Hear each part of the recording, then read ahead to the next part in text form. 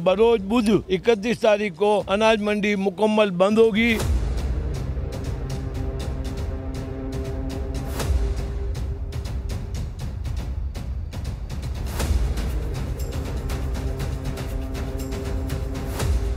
इनसे कोई पूछे कि अनाज पे सत्तर साल में कभी टैक्स लगा है?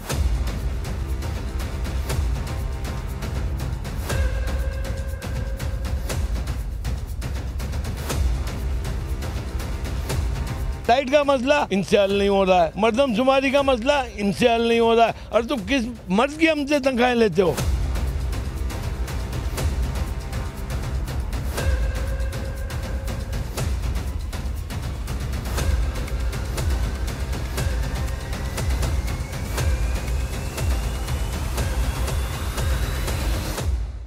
मैं हूँ आपका मेज़बान इमरान मलिक। आप देख रहे हैं मेरान ट्रिब्यून हैदराबाद। आज अनाज मंडी के अहदेदारों ने रोड पर निकलने का ऐलान कर दिया है और तंग आमद, जंग आमद की पॉलिसी पे अमल करते हुए ालिमाना टैक्स के खिलाफ ऐलान जंग कर दिया है और उन्होंने अपनी एसोसिएशन के इजलास में चंद फैसले किए हैं। अनाज मंडी के सदर हमारे साथ है। हाजी अरुण साहब इनसे गुफ्तु करेंगे। आज हमने अर्जेंट वर्किंग का एक इजलास बुलाया, जिसमें मुतफ़ा तौर पर, बल्कि अक्सरियत से ये फैसला हुआ है कि बरोज बुध इकतीस तारीख को अनाज मंडी मुकम्मल बंद होगी।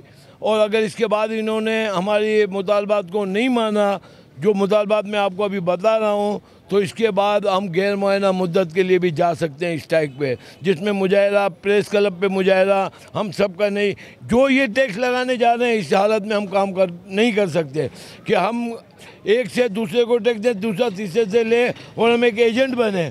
एक दुकानदार है, मुझसे आगे मैं मिल से माल लूँगा, वो मेरे से टैक्स काटेगा मैं दुकानदार जो मुझसे दो कट्टे एक कट्टे लेने आएगा, मैं उससे टैक्स काटूँ। इसका मतलब सीधा ये हुआ कि हम एजेंट बनने जा रहे हैं। जब हुकूमत नालायकों के हाथ में आ जाती है तो ऐसा ही होता है।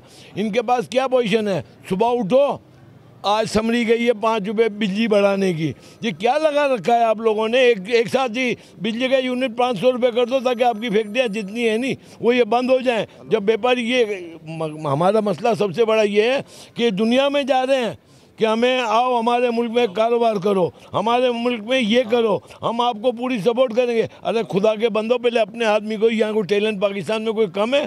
पाकिस्तान का टैलेंट पूरी दुनिया में ऐसा टैलेंट नहीं है। वो आपको एक मिनट में, दो साल में आपका मुल्क खड़ा कर देंगे। अच्छा अगर यही सूरत हाल रही, जो हकूमती पॉलिसी है और हकूमती पॉलिसी जिस तरीके से ताजरों को परेशान कर रही है, आप रोड पर आ गए हो। अगर यही सूरत हाल रही तो आप कारोबार की और पाकिस्तान के ताजरों की क्या हालत देखते हैं? मैं ये देखता हूँ कि कारोबार है नहीं। इनको 110 परसेंट अपनी दुकानों को मुकम्मल ताले लगाने पड़ेंगे। देखिए, इस वक्त ये पोजीशन है कि दाल मिल एसोसिएशन मैं नहीं समझता हूँ कि आज तक ज़िंदगी में एक दिन भी दाल मिल एसोसिएशन ने कभी हड़ताल की हो। इन्होंने इतना बेजार कर दिया कि दाल मिल वालों के हमें फ़ोन आ रहे हैं सुबह से कि हम मुकम्मल हड़ताल कर रहे हैं, यानी कि दाल की एक भी फैक्ट्री नहीं चलेगी। अगर ये क्या, किस पॉलिसी पर जा रहे हैं, हमें ये समझा दे खुदा के वास्ते। मसला ये है कि लाइट का मसला इनसे हल नहीं हो रहा है। मर्दमशुमारी का मसला इनसे हल नहीं हो रहा है। और तुम किस मर्द की हमसे तनख्वाहें लेते हो? और जब ये पॉलिसी बनती है तो आप लोगों को ताजिर बिरादरी को ऑन बोर्ड क्यों नहीं लेते? आपसे रबता करते हैं भैया उनको ऑन बोर्ड ले लेते हैं जिनकी कमीशन होती है जिनको फ़ायदा होता है ये उनको ऑन बोर्ड लेते हैं। ताजिर को तो कैसे ऑन बोर्ड लेंगे? ताजिर तो अपने ये नहीं कहता हूँ कि हमारी जो मफादात हैं उसको उस पर आओ। मैं मुल्क के तो मफादात के लिए खुदा के लिए आ जाओ लाइट के मसले में इतनी से बड़ी लोड शेडिंग है। अरे खुदा के वास्ते गवर्नमेंट के जितने इदारे हैं सबके एसी बंद करो। इनको इतनी इतनी कारें दी हुई हैं कारें बेच दो इनकी। मुल्क का कर्जा उतारो। आपके पास कारें करोड़ों लाखों कारें गवर्नमेंट ने अपने बंदों को दी हुई है। ये हमारे टैक्सों से जाती है। खुदा के वास्ते इनकी सारी कारें बंद करो इनके एसी बंद करो। अगर मुतालबात नहीं माने गए तो ये सिर्फ़ एक दिन की रहेगी या फिर तवील हो सकती है? ये जाएगी गैर मुआयना मुद्दत के लिए। और ऐसी हड़ताल होगी कि इन ये कहेंगे कि ये हड़ताल हुई है। क्योंकि इस हालत में जो हम देख रहे हैं नहीं, कि हमें कारोबार किसी सूरत में भी हम नहीं कर सकते। देखिए, इससे पहले मैं आपको एक बात और खुलासा कर लूँ इनसे कोई पूछे कि अनाज पे सत्तर साल में कभी टैक्स लगाए अनाज के कामों पे जो ये खाने पीने की चीज़ें हैं।